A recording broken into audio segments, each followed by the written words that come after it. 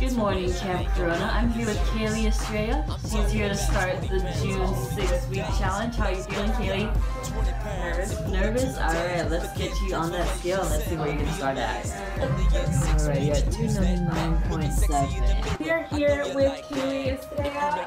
Um, she's doing her final weigh out for the 60 challenge. Her start was 299.7, going into the 26.